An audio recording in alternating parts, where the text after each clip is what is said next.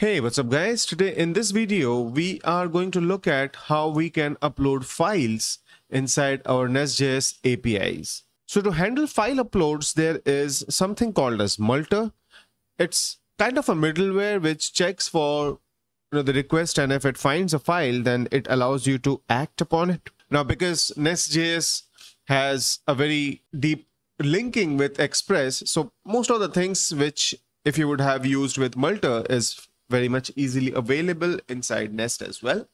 So we will see how we can implement it. So to before we begin our code, one thing which I will have to install is the type type dependencies or the type definitions of Multer. So I will do npm install a dev version of Multer.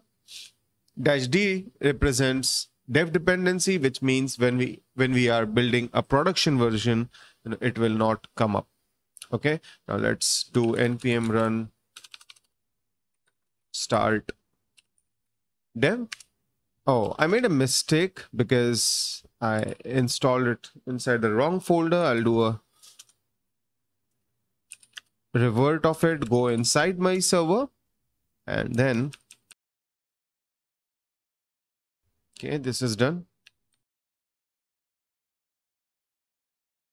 I think my database is not running. That may cause a problem. Let me quickly start that. And while this is happening, let's understand how we are going to develop the API. So let's just say inside our Thunder client, we have a new request. And let's just, so we will have a API, a post request, which is called slash file. Inside the body, we'll have a form with fields as file fields. And now we will try to see how we can develop this. Okay. To upload a file, let's quickly create a sample text file. So I'll go inside this, maybe create a text file, upload.txt. And maybe I'll just dump this text itself just to be a little creative with the content but yeah you get the point right? So so this is my file. I'll try to upload this. Right now i'm assuming yes it is going to give me a 404 because nothing is defined as of now. So let's get started with it. The first thing which obviously we will have to do is let's just say we go inside our app controller we create that api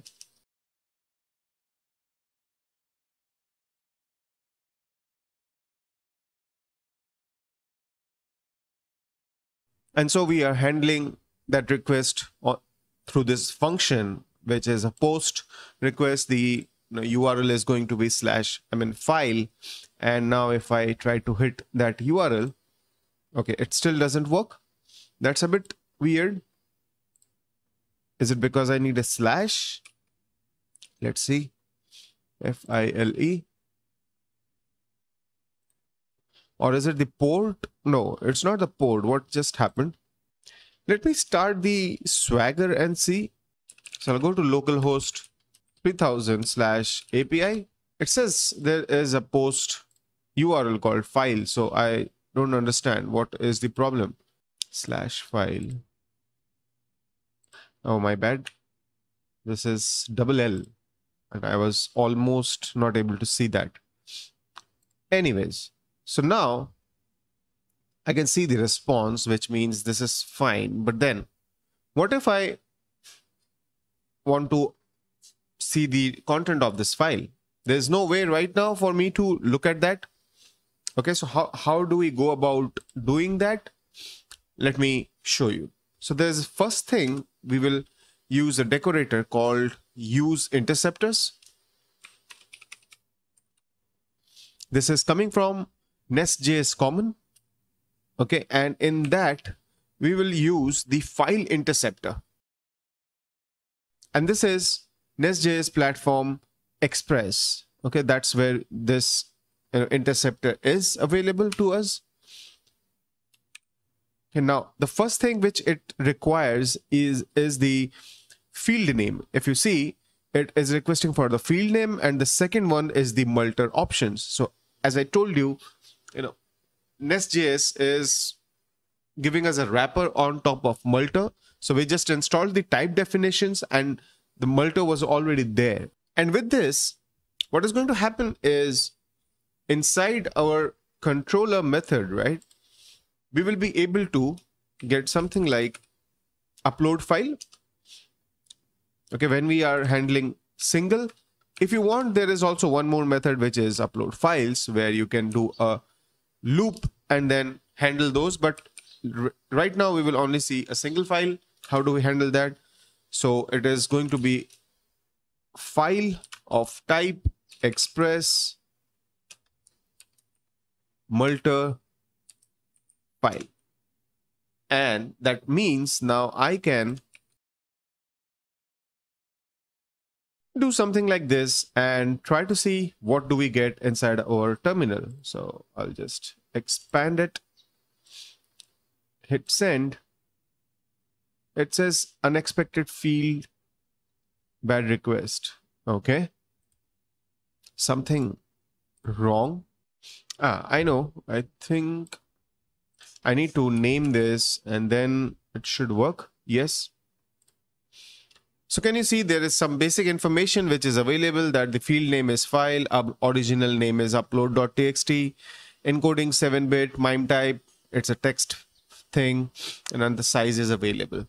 Okay, that's fine. But so far we haven't been able to save this file or do anything with it. You can imagine Multer is like a middleware which intercepts this request. It understands that there is some file object in this request and it needs to do something. But before it does anything, we will need to send it some configurations so that it understands what it needs to do. Okay, so let's go inside our controller. We haven't finished stuff. As I told you, this interceptor gets a second argument, which is optional, but it still does which is the multer options. But before we do that, there is one more thing which you can do. If you go into your app modules and if you want to globally control certain things, the behavior of certain stuff, you can do something like multer module, register. The destination you can set as uploads. Okay. And now if I go back to my request again, can you see first of all the uploads folder got created? Let me open it for you inside my Explorer. How do I do that? Reveal in File Explorer. So inside server, I have uploads folder. Okay, nothing is there as of now, but can you see because of this configuration, I was able to create that folder. And then if I hit send now, a file got created obviously this file is in a very cryptic file name. It doesn't have the extension which means there, there is literally no way for me to read it um, other than just guessing it. This time i know it's a text file so if i open it with notepad okay i'm getting it. But what what happens if this is a binary? It's an image. I, I have no idea how to read that right? So we'll have to do something about it.